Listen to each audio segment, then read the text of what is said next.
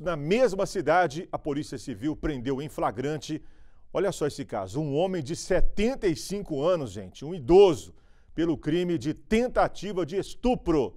Segundo as investigações, a vítima é uma funcionária dele.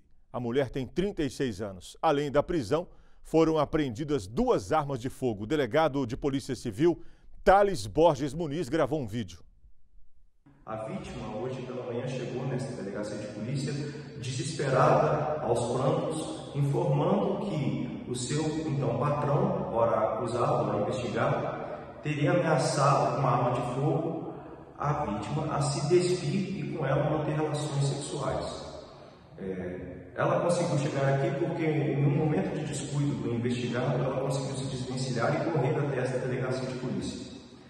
Após ouvimos o relato dela e considerando que estávamos é, sob o amparo do, flagrante físico, fomos ao encalço imediatamente do investigado e ao chegar na casa dele estava empreendendo fuga naquele exato momento, ocasião em que, conjuntamente com a testemunha, pudemos entrar na casa com autorização do suspeito e lá encontramos a arma de fogo, duas armas de fogo, uma arma de fogo de uso permitido e outra também que estava com a numeração raspada.